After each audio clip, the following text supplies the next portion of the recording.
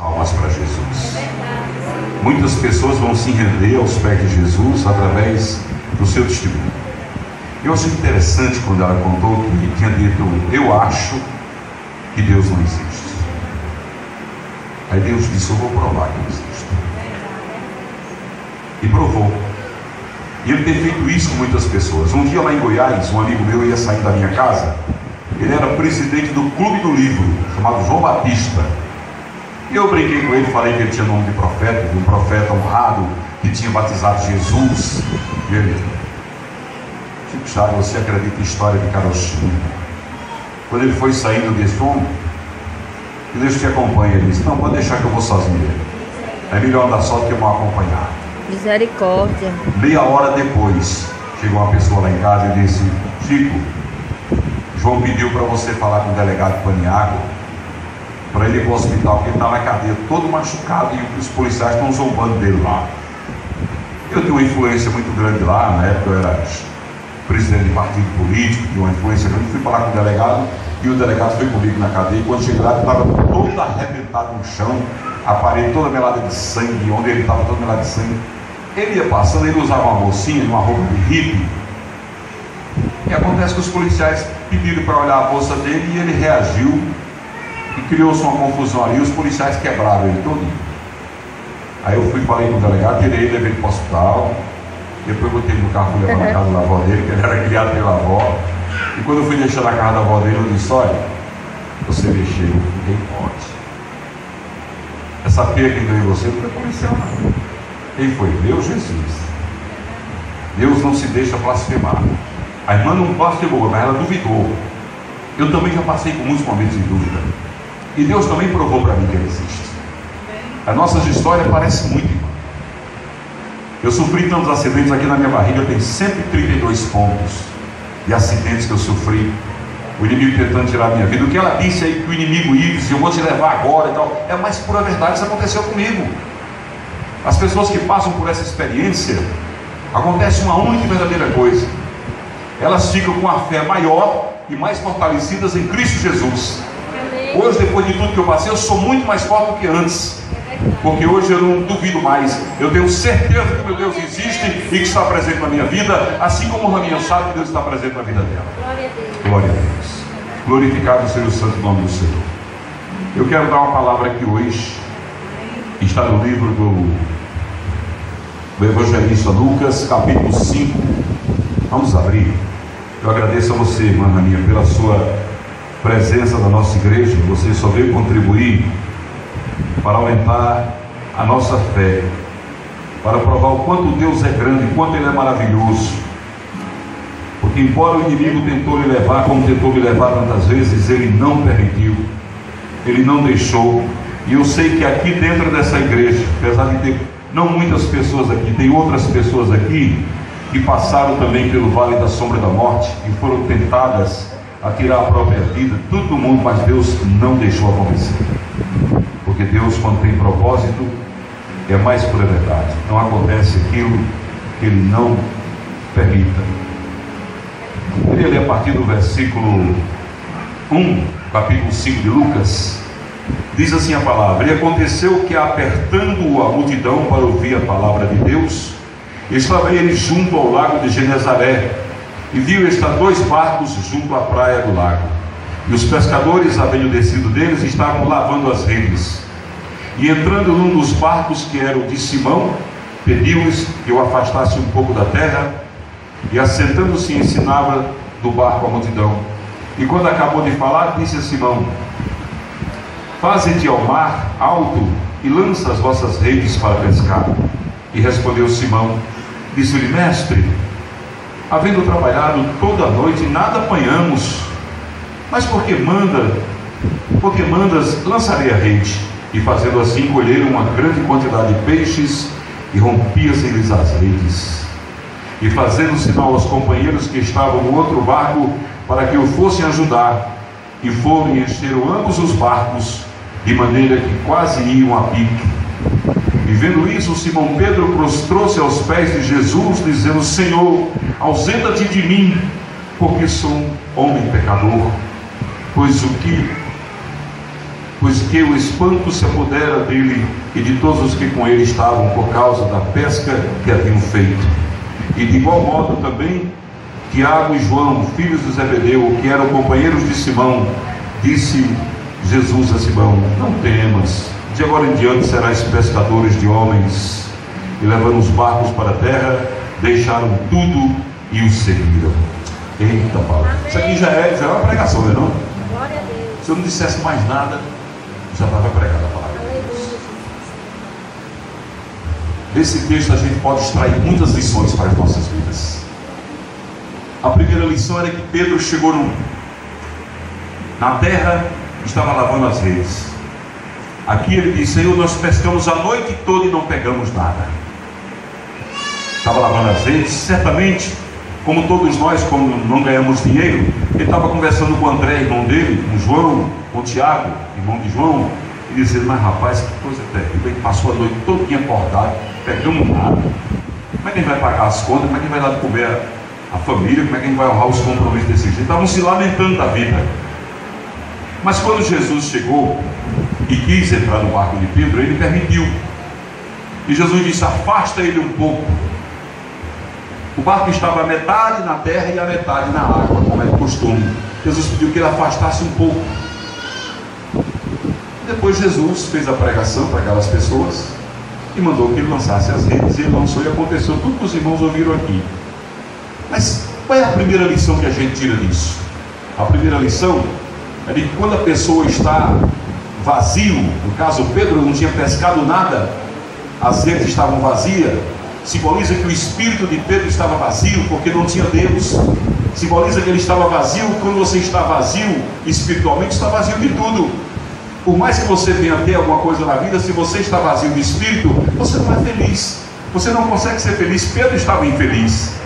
E quando Jesus pediu que ele afastasse da terra e colocasse ele um pouco ali, dentro do mar de Genezaré, na verdade não é um mar, é um lago, mas tem o nome de mar. Jesus estava dizendo, Pedro, é preciso que se afaste um pouco do apego à terra, das coisas da terra, para olhar para mim, para ver meu propósito na sua vida e ver o que eu tenho a lhe oferecer. Porque o que eu tenho a lhe oferecer é de uma abundância tão grande que é muito mais do que você pensa ou imagina. E quando Jesus disse, lança as redes, e Pedro disse, Senhor, mas o Senhor está mandando, eu vou lançar. E essa pesca maravilhosa simboliza na vida daqueles que têm Cristo, que quando estamos com Cristo, há fartura de tudo, porque o pouco com Deus é muito.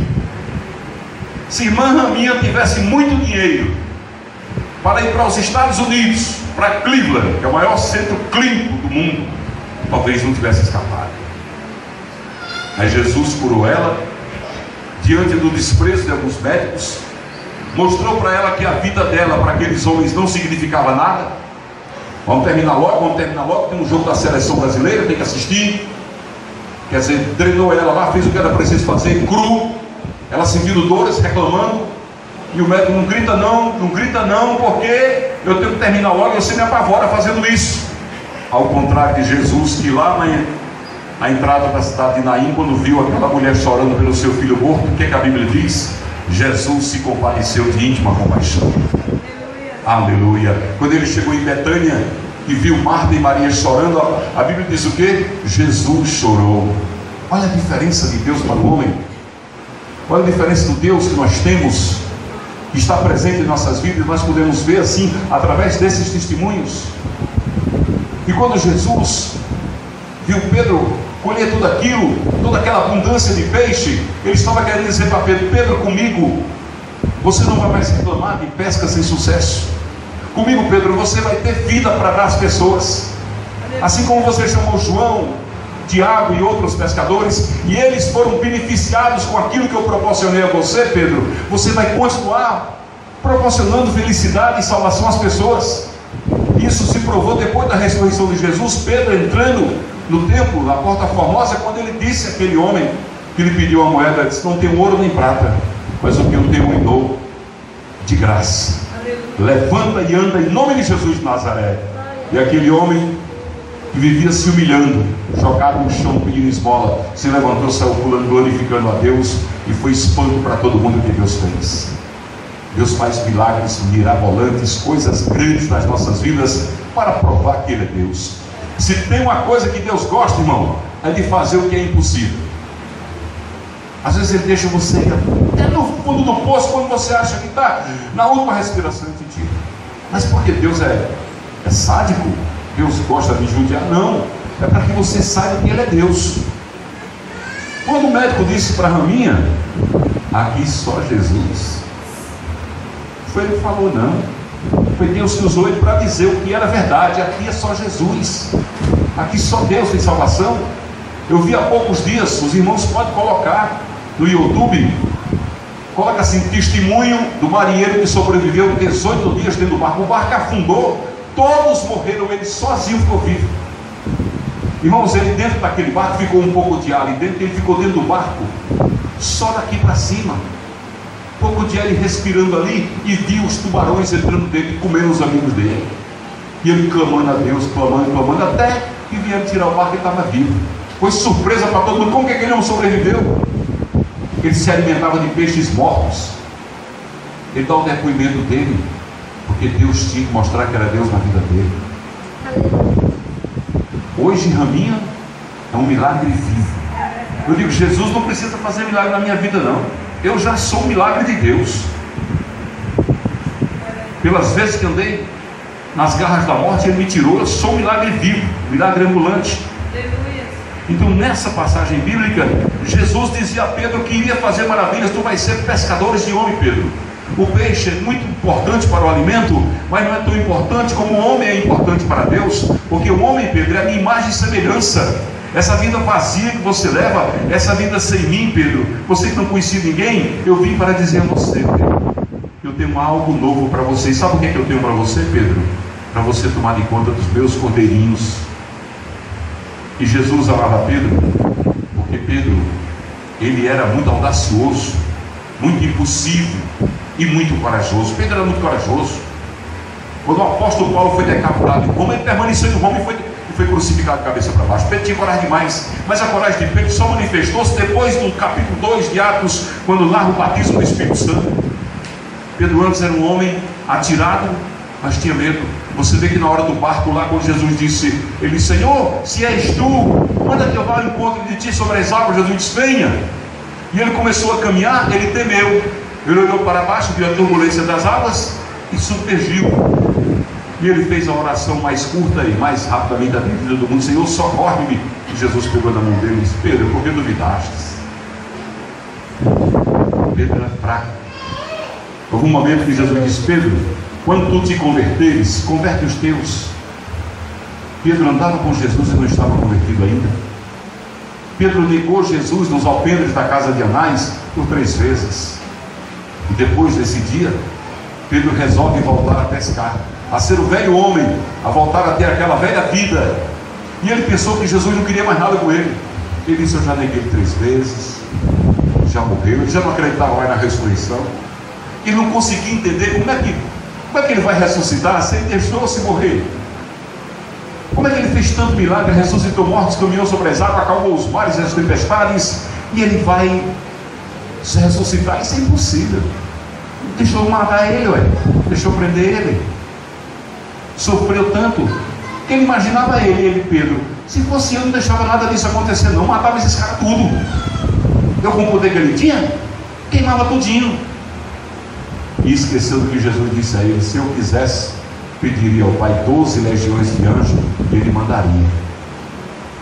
Esqueceu que Jesus tinha uma missão que era salvar toda a humanidade. Mas Deus tinha um amor por Pedro, porque ele era corajoso. Assim como você, Raminha, tem coragem de vir falar do que você passou, porque falar do que nós conquistamos, dos troféus que recebemos, é fácil. Agora, falar da dor, do sofrimento, do que passou, da humilhação, da rejeição, de tudo que passou, ferir a sua própria alma, doar a sua própria dor, é todo mundo fala, não. Mas Jesus amava Pedro porque Pedro reconhecia suas fraquezas. Quando Jesus disse àquela multidão que estava lá, e disse: Olha, vocês estão vindo atrás de mim. E Jesus multiplicou os pães e os peixes, né? E o pessoal ficou tudo doido. Quem quer comer um peixe multiplicado por Jesus?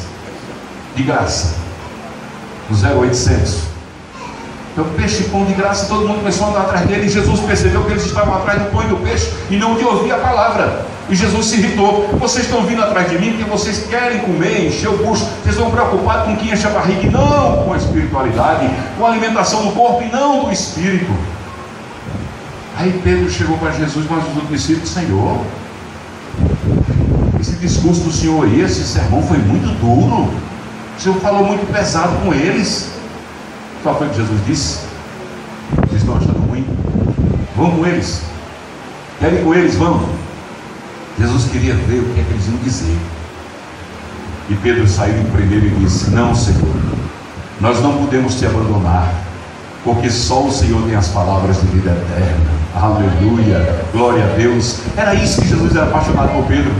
Depois da ressurreição, quando Jesus foi atrás deles, lá no mesmo mar, Jesus chegou lá e eles estavam lá de novo, pescando, não tinham pegado nada. E Jesus chegou e disse: Filhinhos, olha como Jesus chamou eles: Filhinhos, se fosse qualquer um de nós aqui, tinha chegado e ele, ei, galera, olha eu aqui, ó, Jesus, ó, ressuscitei. Eu não disse a vocês que eu voltava? Era assim não que a gente fazia? Eu tenho poder. Mas ele não, ele chegou e disse: Filhinhos, vocês têm alguma coisa para comer? Não, não, nós não pegamos nada a noite toda. Joga as redes aí do lado direito aí, do lado direito. Quando eles jogaram, foi de novo. Chuva de peixe.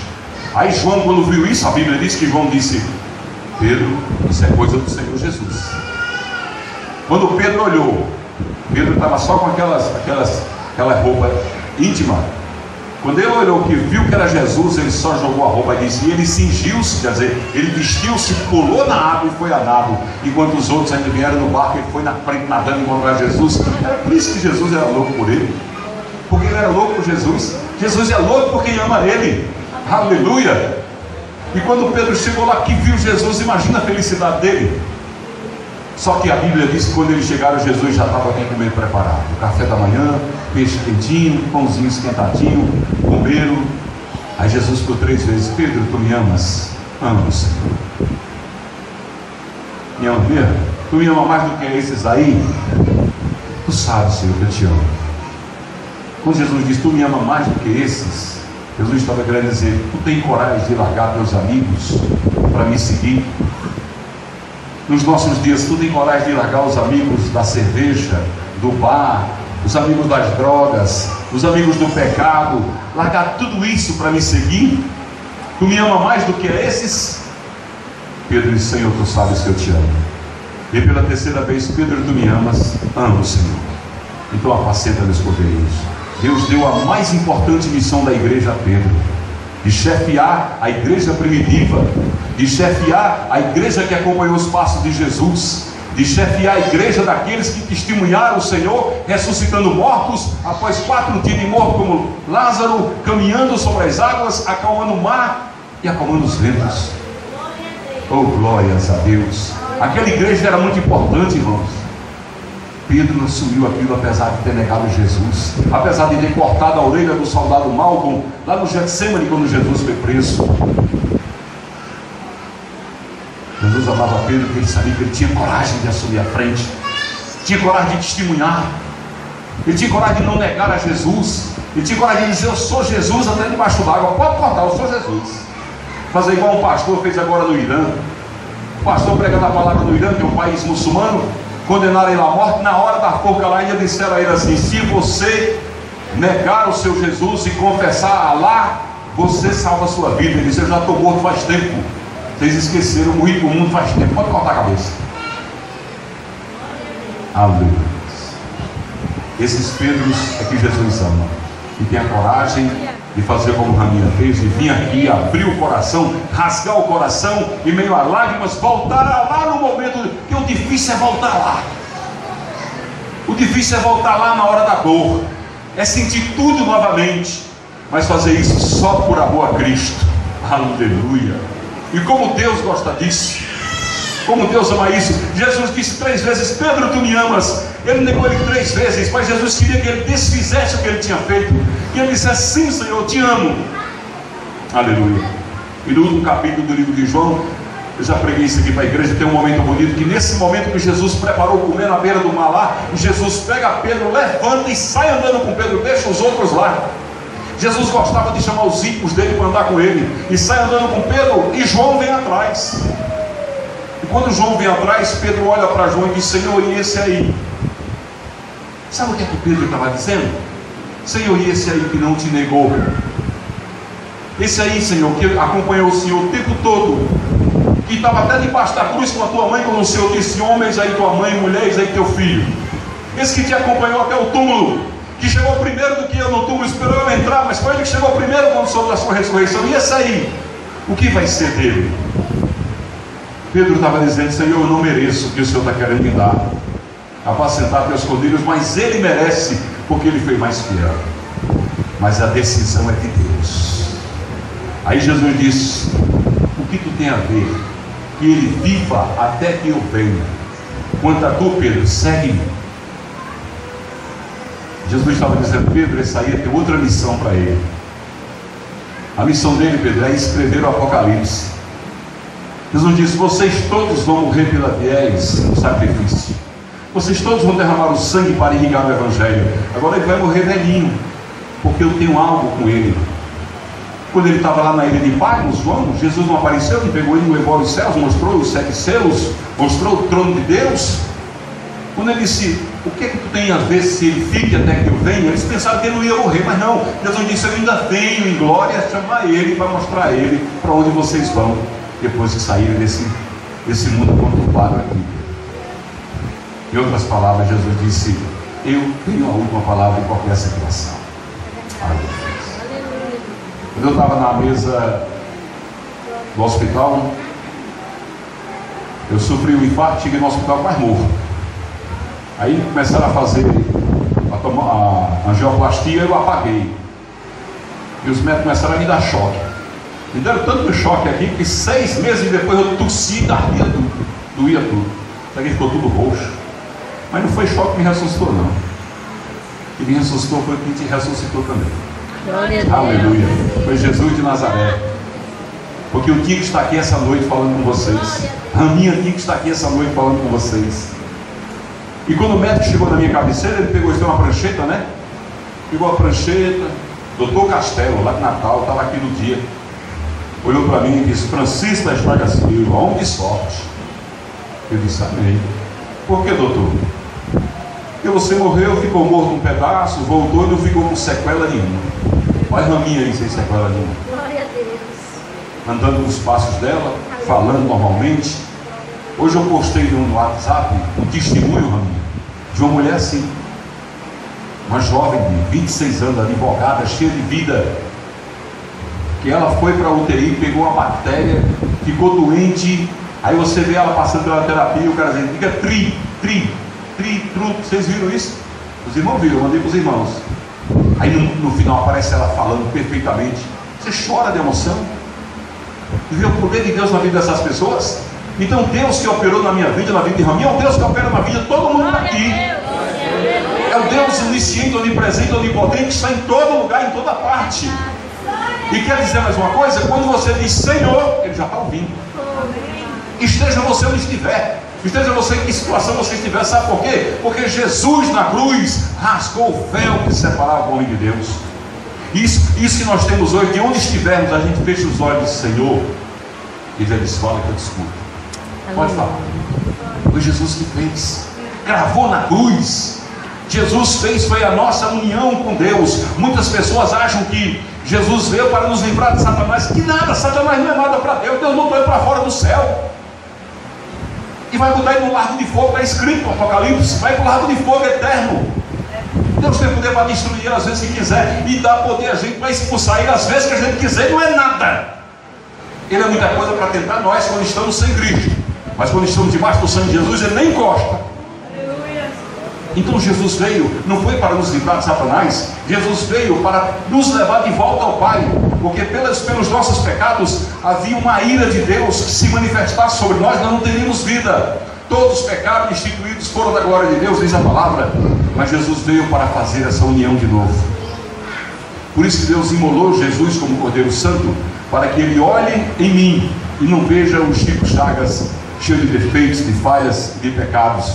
Mas quando ele olha em mim, vê um sangue carmesim, o sangue vertido na cruz do Calvário. Glória a Deus, aleluia. É esse sangue purificador que nos dá essa força para testemunhar de Jesus. A palavra diz, irmãos, que a mensagem da cruz é loucura para o mundo. Raminha contando uma história desse com uma pessoa de fora vai dizer, hum, ele vai duvidar, como nós duvidávamos. Quando eu estava na sala de cirurgia lá, eles começaram a enfiar um negócio da minha virilha aqui, aquilo dói, arde e bota um contraste dentro da gente para poder clarear as veias. Quando aquilo vai entrando, vai queimando tudo, rapaz, é terrível. E naquela hora, eu estava afastado do Evangelho, eu disse, Senhor, eu sei que não mereço. Mas se o Senhor puder fazer comigo o que fez com o rei Ezequias, de prolongar os meus dias, eu te agradeço. Acabei de dizer isso, não vi mais nada. Quando eu abri os olhos, estava o médico gritando, Francisco, quando eu chamar, tu fala, rapaz. Que o médico me dava um choque e gritava meu nome, me dava um choque e gritava meu nome. Eu não ouvi nada, só ouvi o último grito. Minha irmã que estava lá disse, rapaz, gritou demais, eu não ouvi. Mas eu ouvi uma voz do meu Senhor dizendo mais uma vez, eu estou te livrando das garras Aleluia. Essa voz eu ouvi. Essa voz você escuta no seu coração. Deus dizendo, eu te amo porque você confessa o meu. Aleluia. Eu te amo porque você me tem como Salvador. Eu te amo porque você ama a minha palavra. Você ama me louvar. Você ama a minha casa. Você ama estar perto de mim. Por isso eu te amo. E um dia você receberá de mim a seguinte sentença: Venha, filhos e filhas amadas do meu Pai. Toma por herança o reino dos céus, porque lhe pertence. Glória a Deus, aleluia.